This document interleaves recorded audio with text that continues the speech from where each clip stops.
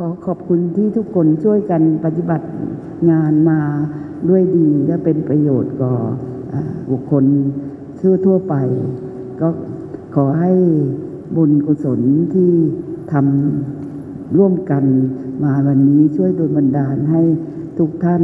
มีความสุขสวัสดีประสบความสำเร็จ ในชีวิตหน้าที่การงาน และสิ่งที่พึงปรารถนา ทุกประการใน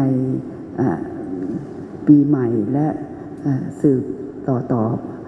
ไปด้วยในอนาคต